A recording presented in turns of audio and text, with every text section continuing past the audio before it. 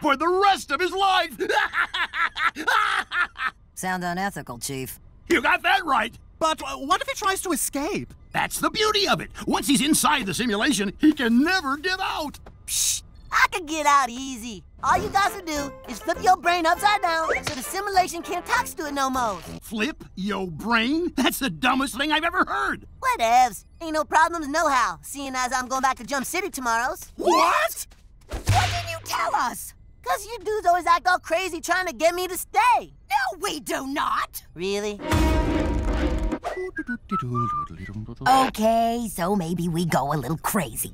But it's only because we love having you around so much.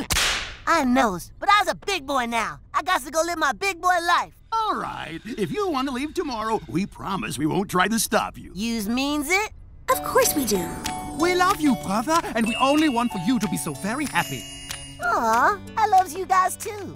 Come on and get you a hug. Now! I thought we had him. Look, I was leaving tomorrow, so whatever you fools got planned, you just forget about it, cause it ain't gonna work. We'll see about that. As a going away gift, I made you some of those weird vegan cookies you like so much. Oh, sweet. That's that type that's made from the beans, yo. Hey,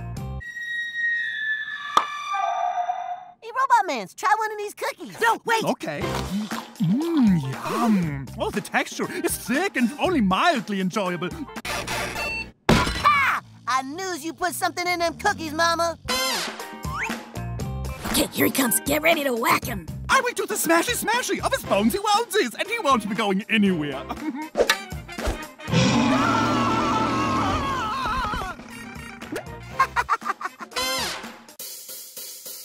Want more Cartoon Network?